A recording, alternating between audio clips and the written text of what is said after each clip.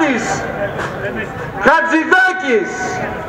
Αυτός που επιδιώκει να θάψει το οχτάωρο τον ελεύθερο χρόνο των εργαζομένων σήμερα αποκάλυψαν και τα τελευταία στοιχεία για το επέσχυντο αυτό το τραγικό νομοσχέδιο που θέλει να καταθέσει.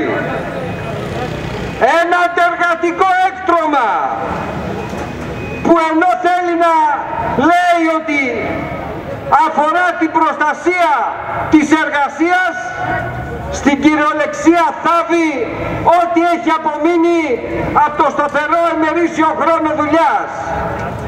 Μάθαμε τις περασμένες βδομάδες ότι ήθελε να επιβάλλει δεκάωρη απλήρωτη δουλειά. Αυτό έλεγε στα κανάλια. Αυτό πλάσαρε παντού. Σήμερα πέταξε και το τελευταίο φίλος Σικής. Το νομοσχέδιο θα μιλά για 13 ώρες δουλειά. Απλήρωτες 13 ώρες.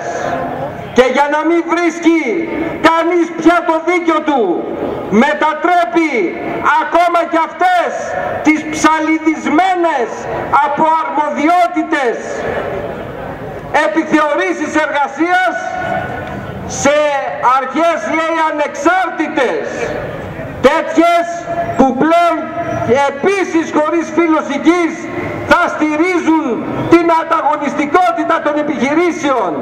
Θα πάνε χέρι-χέρι με αυτό που θέλει να επιβάλλει.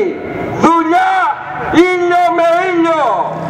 Απέναντι σε αυτήν την πραγματικότητα οι εργαζόμενοι, τα συνδικάτα που συσπηρώνονται στο ΠΑΜΕ μαζί και με άλλα συνδικάτα, συνδικαλιστές και εργαζόμενους παρά τις διαφορές μας. Καλούμε τους εργαζόμενους να βρεθούμε σε θέσεις μάχης, να απαιτήσουμε να πάρει πίσω το αντεργατικό έκτρωμα η κυβέρνηση, συνεχίζοντας με μεγαλύτερη ορμή αυτό που όλοι μαζί καταφέραμε εδώ και ένα χρόνο μέσα στην πανδημία, στην πρωτομαγιά του 20, στην πρωτομαγιά του 21.